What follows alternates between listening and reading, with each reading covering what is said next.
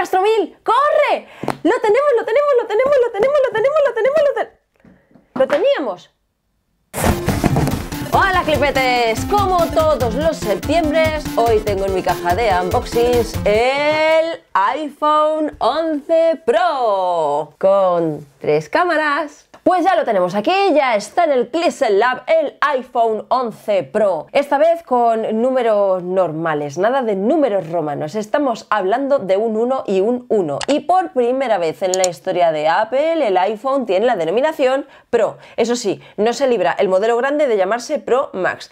Este es el modelo de 5,8 pulgadas y entre medias hay un tamaño de 6,1 pulgadas que corresponde al iPhone 11 a secas. De todos estos intentaremos hacer vídeo, pero hoy nos centramos en este modelo del 11 Pro, que es básicamente como el 11 Pro Max porque no reduce ninguna características salvo el tamaño de la pantalla y también el tamaño de la batería, por supuesto, porque esto ya es una cuestión física. Por todo lo demás son exactamente iguales. Y si ya lo comparásemos con el iPhone 11 nos encontraríamos con alguna diferencia más. Aparte de la tecnología de la pantalla, que sería IPS en el iPhone 11 y aquí tenemos tecnología OLED, nos encontraríamos con una cámara menos. El iPhone 11 tiene dos cámaras. ¿Por qué? Pues porque le falta el objetivo tele. Y ya sin más, vamos a abrir este nuevo iPhone 11 Pro. Vamos a quitarle primero el plástico que lo protege.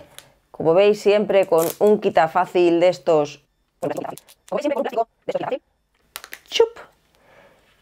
Y ya prácticamente se abre solo. Así que quitamos el plastiquito y aquí nos encontramos con la caja. Y tenemos en la caja ligeramente sobredimensionado el perfil del iPhone 11 por aquí vemos también el color que es el color verde un color muy bonito y que estrenan estos nuevos teléfonos. Aquí la triple cámara que es una de las características que más destacan. iPhone manzanita verde. Vendrán las pegatinas en color verde este modelo que tengo aquí tiene 64 GB, que es la capacidad mínima en la que está disponible estos iPhone 11, tanto el 11 normal como los 11 Pro. 64 GB, 256 y 512 GB. Este es uno de los puntos eh, posiblemente que así a priori nos parecen más negativos. Que en pleno, iba a decir siglo XXI, pero es que en el siglo XXI llevamos mucho tiempo, que en pleno año 2019 todavía tengamos los teléfonos con 64 GB de capacidad, los de alta gama, como mínima capacidad, me parece muy pobre. Muy pobre, tenía que decirlo. Así que venga, vamos a abrir la caja. Chan, chan, chan, chan, chan. Chan, chan, chan, chan. Y aquí lo tenemos. Venga, lo sacamos Parece un poquito más oscuro de lo que yo pensaba en un principio y aquí tenemos las polémicas cámaras. Su triple cámara no apta para tripofóbicos, que no es que sean personas que tienen miedo a las tripas. Y vamos a ver el resto de cosas que hay en la caja. Cartoncito con papeles, papeles, papeles, papeles ¡Oh, pegatinas blancas! Hubiese molado que hubiesen sido de colores, ¿eh? Sobre todo ahora que Apple ha recuperado las ganas de poner las cosas de colores. Ya no solo la invitación a la keynote era de colorines con la manzana, sino que la nueva Apple Store de Nueva York, el cubo famoso que está en la Quinta Avenida, ahora se ha teñido con colorinchis. Dejamos por aquí las pegatinas de la manzana, por aquí tenemos un chao, tenemos un hola, que este nos interesa porque además está en español, en el que nos encontramos con algunas funciones rápidas. Hola, aquí tenemos el pinchi, Hola Pinchi, Pinchi de toda la vida, de siempre, y lo dejamos por aquí. Papeles, papeles, seguridad, etcétera, etcétera, etcétera. Y ahora vamos con el resto de cosas que hay en la caja, porque nos encontramos con un detalle que ya echamos de menos en la anterior generación, pero que esta vez viene incluido, que es el cargador de carga rápida, porque si te compras un teléfono de 1159 euros, pues hombre, lo suyo es que venga con un cargador que nos permita sacarle el máximo partido. Y es este. Cargador, por cierto, que tiene 18 vatios de carga y que es el mismo cargador que el que utiliza el iPad Pro. La diferencia está en que el iPad Pro tiene un cable USB tipo C, USB tipo C, que es la conexión que utiliza el iPad Pro. Y en este caso tenemos aquí USB tipo C, pero nos deberíamos encontrar en la caja y voy a quitar los auriculares, un cable USB tipo C Lightning, porque el iPhone 11 y el iPhone 11 Pro siguen utilizando la conexión de Apple Lightning. USB tipo C por un lado, Lightning por el otro. Nos hubiese encantado que hubiesen sido USB tipo C con los dos para, yo que sé, pues para estandarizar un poco la vida, por favor, para no tener que llevar 200 millones de cosas encima. Pero bueno, pues esto es lo que hay. Ojo, que el cargador de carga rápida solo está disponible en los modelos Pro. Si compramos el iPhone 11 vamos a tener que comprar el cargador aparte si lo queremos. Y ya solo nos quedaría un elemento que son los auriculares. Auriculares que no traen ningún tipo de sorpresa. Vamos, que ya son unos viejos conocidos.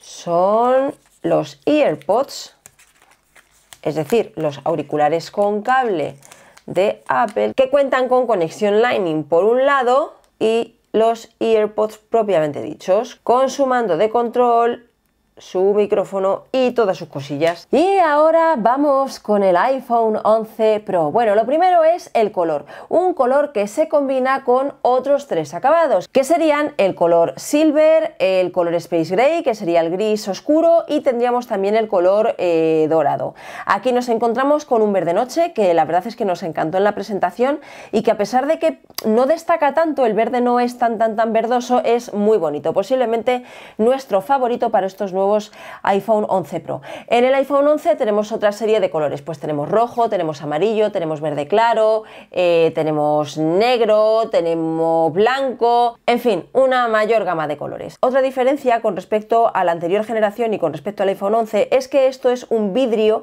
mate texturizado, un vidrio en el que se quedan un poquito menos las huellas, desde luego. Volvemos ahora a la parte de atrás, pero vamos a quitarle el plástico frontal para que podamos verlo.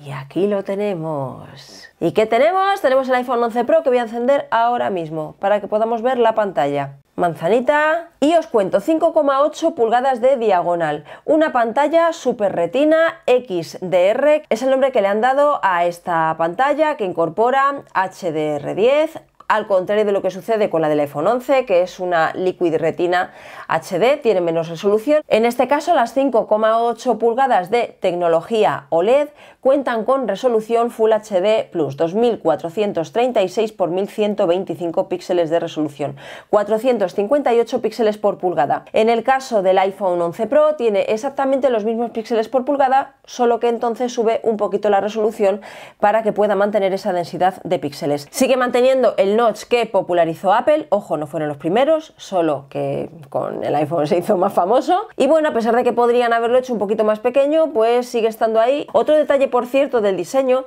es que se parece mucho, por supuesto, a la anterior generación. Es acero inoxidable en este, en este frame, en este marco, pero en el caso del iPhone 11 es aluminio, que es un poquito menos resistente, aunque posiblemente más ligero. Y claro, ahora ya todo nos encaja un poco más, porque a pesar de que el iPhone 11 tiene la pantalla más grande, 6, una pulgada respecto a 5,8 que tiene esta, como tiene el marco de aluminio, pesa tan solo 6 gramos más, 194 gramos de peso el iPhone 11, 188 gramos de peso el iPhone 11 Pro. Pero ojo, cuidado, que el iPhone 11 Pro Max se nos ha ido de madre.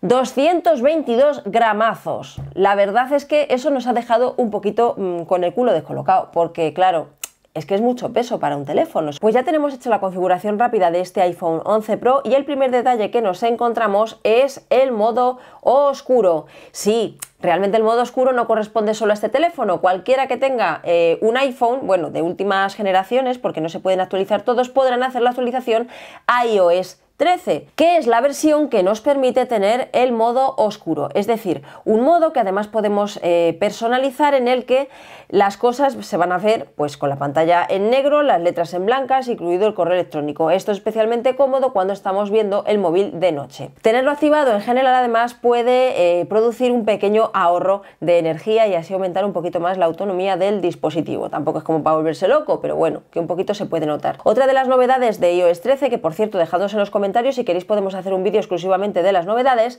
es Apple Arcade.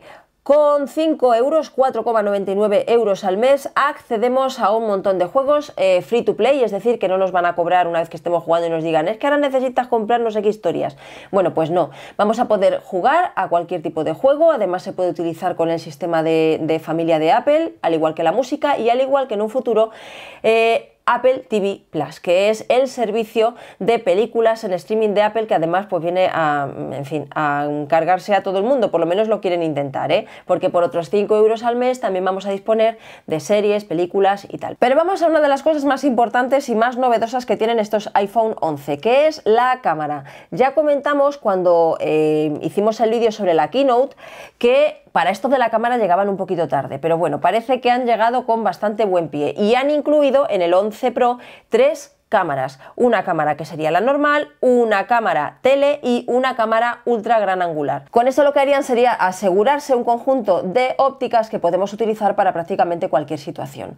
El teleobjetivo no está en el iPhone 11, así que si nos interesa mucho esto, pues que sepáis que tendríais que optar por el iPhone 11 Pro, cualquiera de las dos versiones. Y vamos a probarlo con clipete. Esta sería la cámara principal. Aquí nos encontraríamos con el tele 2 por zoom y aquí nos encontraríamos con la gran novedad, el ultra gran angular. Y bueno, así a priori una cosa que me ha gustado nada más ponerlo es que la transición, como veis, no va a saltos, va fluida. ¿Veis que hace así un acercamiento cuando le doy al zoom? Lo aleja y aquí lo aleja más. Es decir, que no pierdes en ningún momento el encuadre. Y esto se ve apoyado porque las tres cámaras están calibradas conjuntamente. Y aquí es donde entra en juego otro detalle muy importante y es que las tres cámaras cuentan con sensores de 12 megapíxeles. Esto nos va a ayudar también a que en las imágenes no veamos tanta diferencia cuando pasamos de un objetivo a otro. ¿Por qué? Porque al final tenemos la misma resolución. Aunque es verdad que los objetivos tienen distintas luminosidades.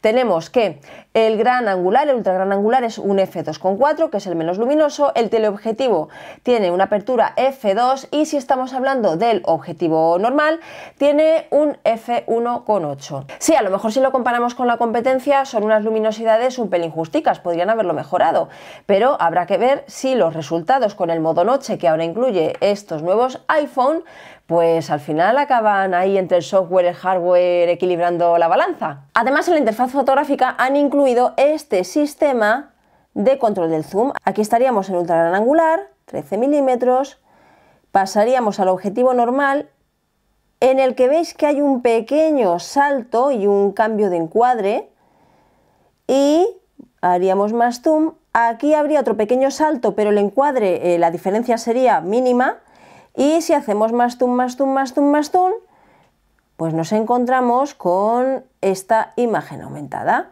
de esta muñequita, que por cierto es un personaje de los nuevos Lego Hide Sight, que no os perdáis el time-lapse que hemos hecho del montaje. Y ahora vamos con una de las partes más polémicas y es el diseño de las cámaras. Y es que, bueno, sorprende mucho la disposición de la cámara que parece pues eh, está medio camino entre un finger spinger de estos, una vitrocerámica, en fin, es un poco extraño. Pero una de las cosas que más nos ha llamado la atención a la que lo tenemos en la mano es que la lente frontal de cada una de las cámaras es más grande que en el resto de cámaras de teléfonos, de otros teléfonos. ¿Por qué? Pues váyase usted a saber, pero lo que sí que podemos asegurar es que esto no hace que las eh, lentes vayan a ser más luminosas. En cualquier caso, sobre el diseño de la cámara, pues para gusto los colores. A Castromil le parece horrible y a mí me gusta. La verdad es que no, no sé, me parece un diseño bastante, bastante equilibrado. Hombre, y muy errada tampoco estoy, porque equilibrado es en el momento en el que están poniendo las cámaras en un triángulo equilátero. Por cierto, que las cámaras tienen un ligero sobredimensionamiento, un doble sobredimensionamiento, uno por el cristal que las engloba, que pasa de ser mate a ser brillo justo en esta pequeña montañita y luego además sobresalen las cámaras otro poquito más que están enmarcadas en metal. Por cierto que el micrófono, que es un micrófono bastante más grande que en la generación anterior, es un micrófono zoom. ¿Y esto qué significa? Pues significa lo mismo que cuando estamos grabando el vídeo. Significa que cuando hacemos un acercamiento a un objeto, el micrófono también hace ese acercamiento de sonido para que sea el sonido de la cosa que estamos enfocando lo que tenga mayor importancia. Si hacemos una ampliación, de nuestro encuadre, entonces tomará sonido más amplio. Y bueno, aunque ya lo he hecho con clipete, también quiero salir yo. Así es como se ve la cámara normal. Así es como se ve con el objetivo tele. Y así con el ultra gran angular, que ¿Estamos guapos los dos? Otra de las novedades en iPhone 11 es el modo nocturno, que lo hace por software.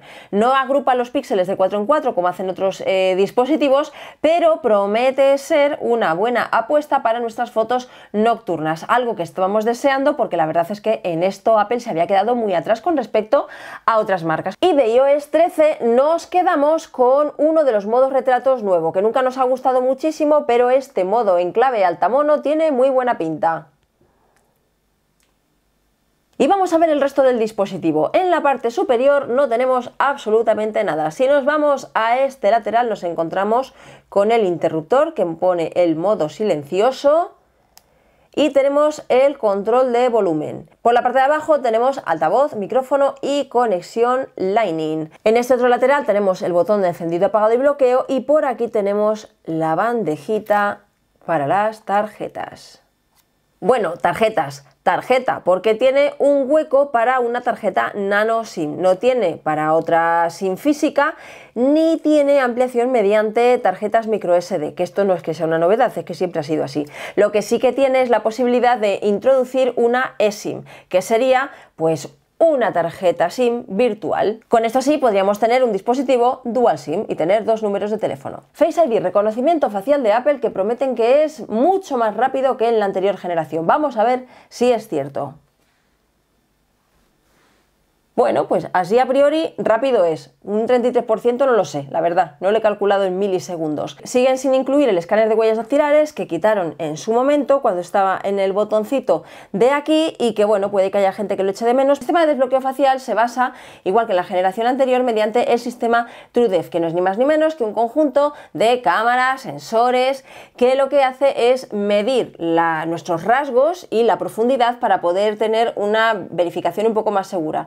Es verdad que en hermanos gemelos pues ha visto que, bueno, pero es que son gemelos, claro, no sé. El caso es que eh, la cámara frontal, la cámara que vamos a utilizar para selfies, cuenta con un sensor de 12 megapíxeles y tiene una luminosidad f2.2. Y si en anteriores modelos el ángulo de cobertura de la cámara frontal era a veces un pelín justita para entrar todos los amigos, en esta ocasión pasamos de tener el mismo ángulo que teníamos en el anterior modelo a un poquito más de cobertura, una función más angular para cuando somos alguno más en la foto. Y si la novedad de otros años eran los memojis, este año la novedad son los slowfish, vídeos, eh, selfies a cámara lenta como este.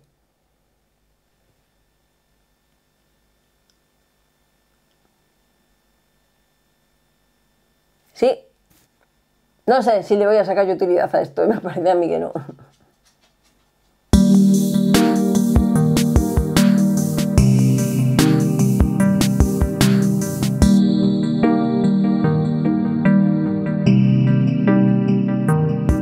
Por cierto, otro detalle que ya tenían anteriores modelos es la resistencia al agua IP68. La diferencia entre el iPhone 11 Pro y el iPhone 11 normal es la profundidad de inmersión. Ambos aguantan 30 minutos, pero este lo hace a 4 metros de profundidad y el otro lo hace a 2 metros de profundidad. En cualquiera de los casos, como este tipo de, de IPs está pensado más para accidentes que para utilizarlo debajo del agua, pues bueno, pues la verdad es que en este caso nos daría lo mismo coger uno o coger otro por la resistencia al agua. Igual que nos daría lo mismo por el procesador, un A13 Bionic, un nuevo procesador con procesador neuronal también para el tema de la inteligencia artificial y que bueno, pues es la actualización lógica de un año tras otro año.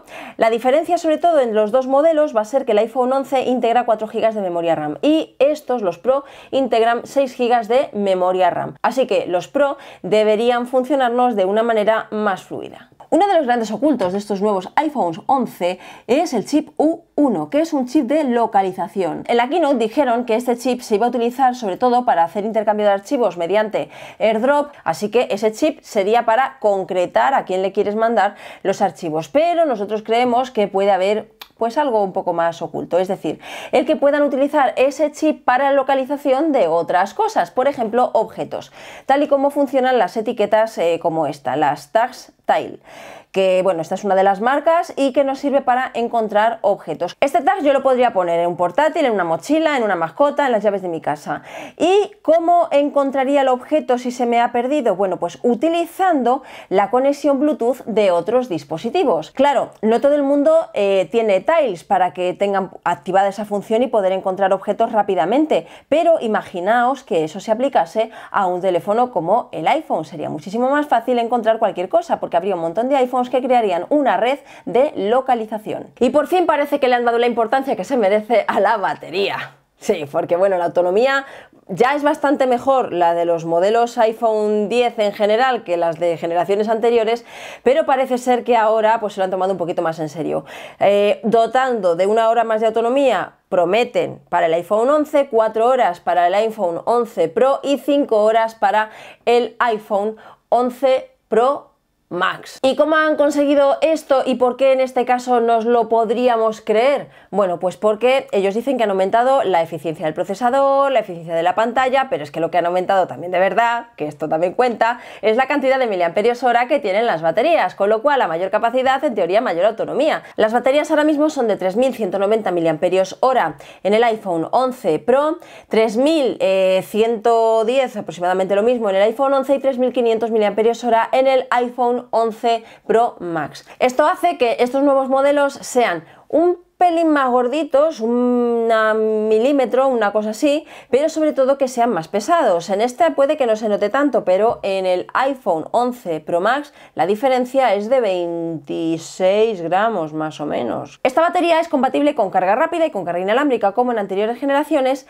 pero lo que no es compatible es con la carga reversa. Lo más curioso es que con el desmontaje que se ha hecho del teléfono se ha visto que sí que podría incluir esta opción y que deshabilitada.